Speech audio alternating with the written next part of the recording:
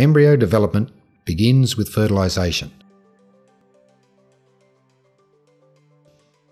The spermatozoa enter the oocyte through the micropyle. A single spermatid releases its genetic material into the oocyte, leading to the fusion of the male and female genetic material and the formation of the zygote. With the fusion of the spermatid and oocyte cell membranes, a cortical reaction is set in motion. There are changes in the chorion, and enzymes released from the cortical granules in the oocyte cytoplasm cause the separation of the oocyte cell membrane from the chorion and the establishment of the perivitelline space. The chorion swells and lifts away from the zygote.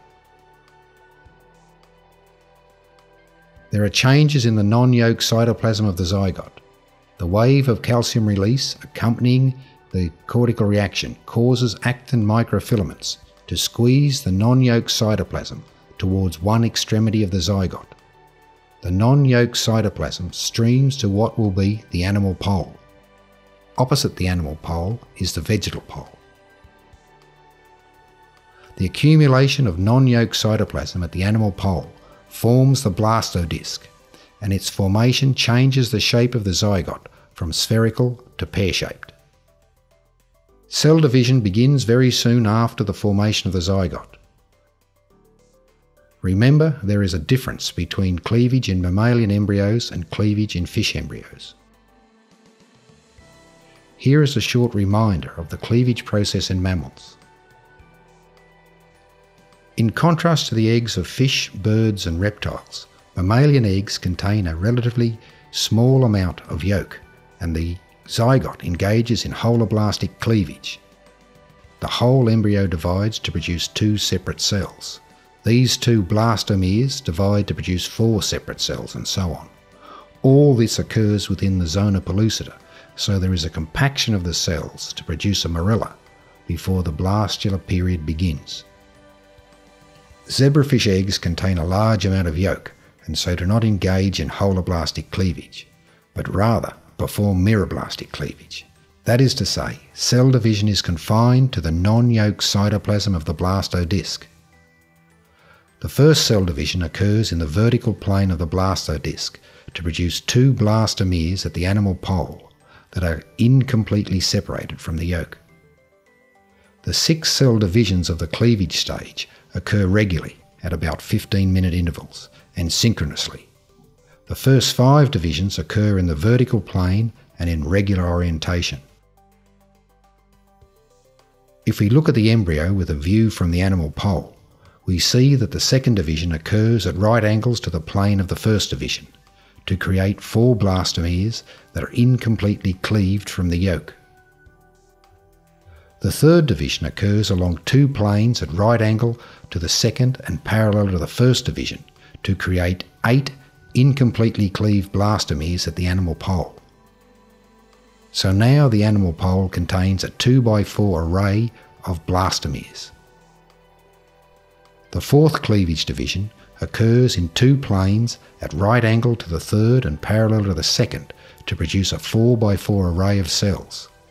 For the first time, some cells are completely cleaved from the other cells. The complete cells are the four most central blastomeres. Note that these four cells are completely surrounded by 12 outer cells, the so-called marginal blastomeres, which are incompletely separated from the yolk. The fifth division occurs in four planes at right angle to the fourth and parallel to the first and third.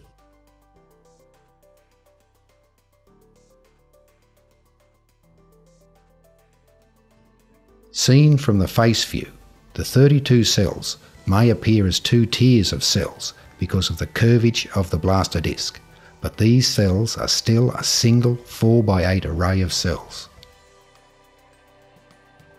The sixth division is the first that occurs in the horizontal plane, and after this division, it is the first time that some cells are completely covered by other cells. These buried cells, or deep cells, arise from one of the two daughter cells of the central blastomeres present in the previous stage.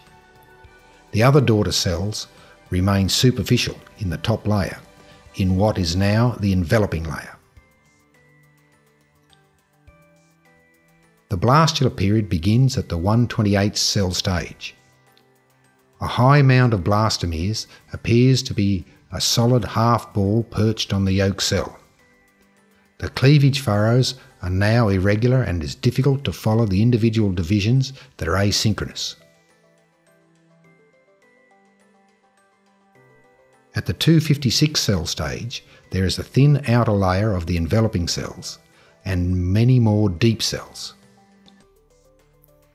At the 512 cell stage, with the 10th cell division, the mid-blastular transition starts, and formation of the yolk syncytial layer also starts.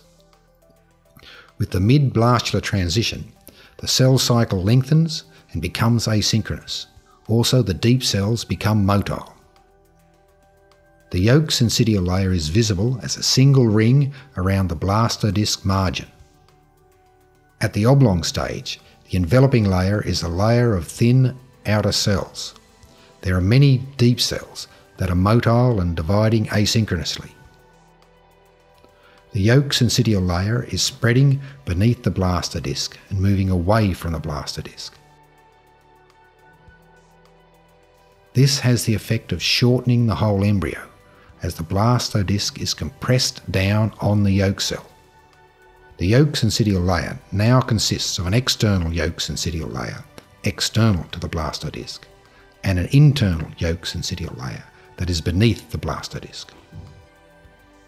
At the dome stage, the internal yolk syncytial layer begins to dome up, which is a sign that epiboly has started.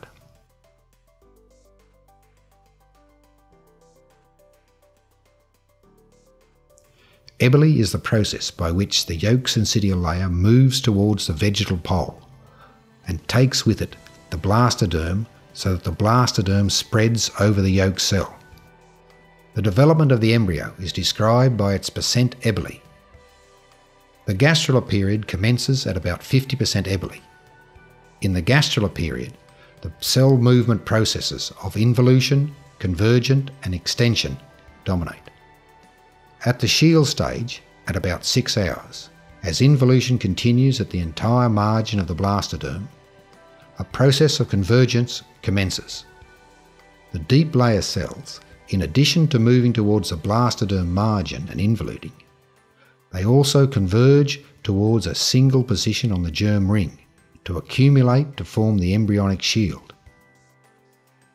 At the embryonic shield, the involuting cells form the axial hypoblast that continues the movement of involution to stream towards the animal pole. At 90% epiboly, the axial blastoderm thickens on the dorsal side rather than the ventral. At 100% epiboly, the bud stage, at about 10 hours, the gastrula period is defined as ended when the epiboly is complete and the tail bud has formed.